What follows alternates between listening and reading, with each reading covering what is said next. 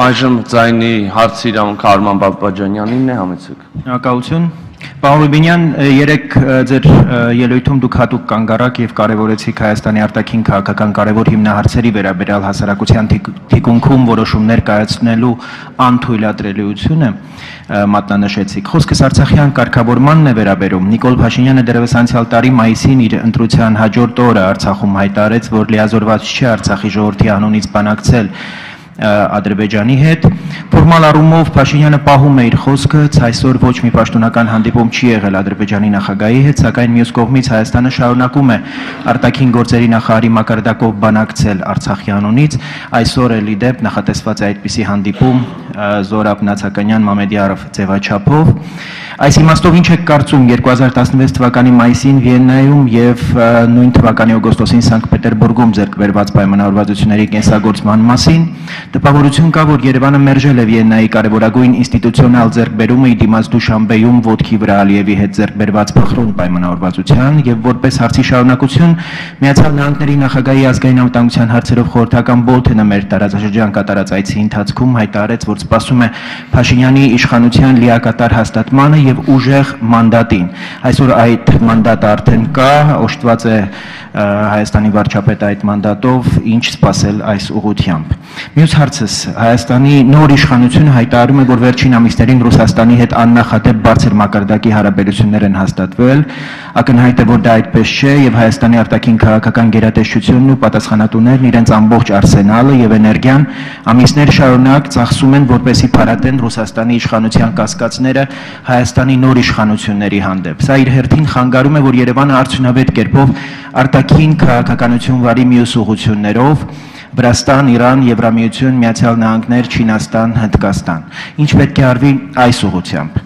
Իմ հաջորդ հարցը վերաբերում է ազգային անվտանգության հայեցակարգին 2000 Օ, ժամանակը սպառվել Ախնդրեմ։ Պարոն Ռուբինյանը պատասխանի հնչեցվածներին արձագանքի տեսքով կարող եք հնչեցնել մյուս հարց համեցեք պարոն Ռուբինյան։ Շնորհակալություն։ Պարոն Բաբաջանյան, այո, վարչապետը հայտարել էր, որ Ադրբեջանի ներկայացուցիչի հետ կարող է բանակցել Հայաստանի անունից եւ նա պահել է այս տրամաբանությունը կապված ձեր հարցի հետ Վիեննայի եւ Պետերբուրգի պայմանավորվածությունների հետ կապված այս հարցադրումը բազմիցս հնչել է նաև նախկին իշխանությունների ներկայացուցիչների կողմից Ես ուզում եմ ձեզ ասել, որ այդ տպավորությունը, որ Երևանը հրաժարվել է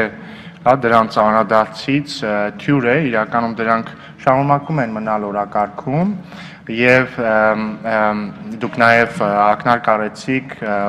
վարչապետ Փաշինյանի եւ Ալիևի Դուշանբեում ոչ ֆորմալ, հա,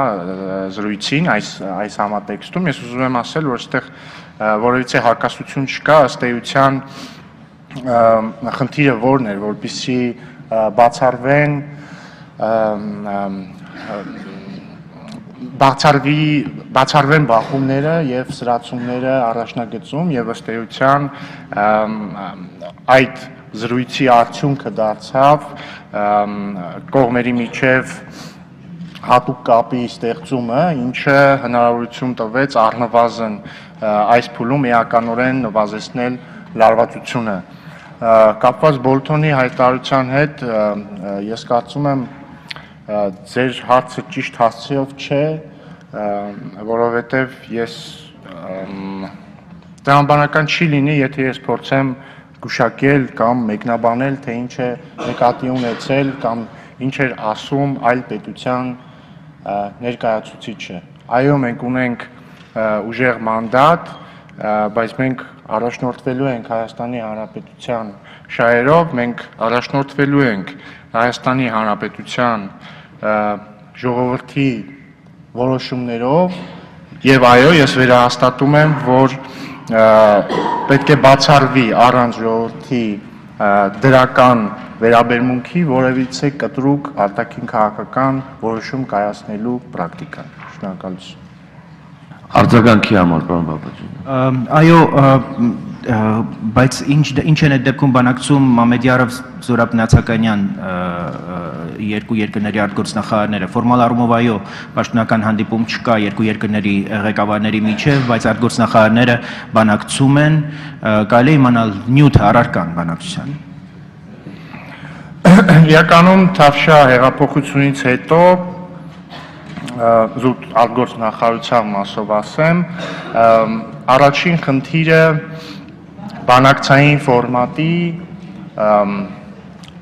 բանակցությունների, բուն բանակցությունների շարունակականությունը կամ եթե կուզեք ռեստարտը ապահովելն էր, մենք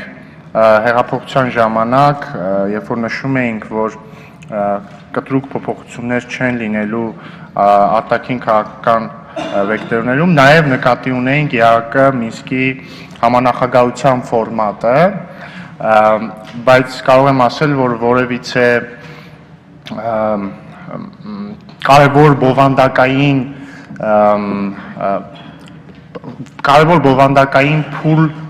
բանակցությունների առումով չի սկսվել եւ հետեւաբար ես ես չեմ կարող այս փուլում առնվազն որևիցե նշանակալի մանրամասն հայտ մանրամասնություն հայտնել ը, արտգոսնախարարների մակարդակում բանակցություններից գուցե կառավարության հարց ու պատասխանի ժամանակ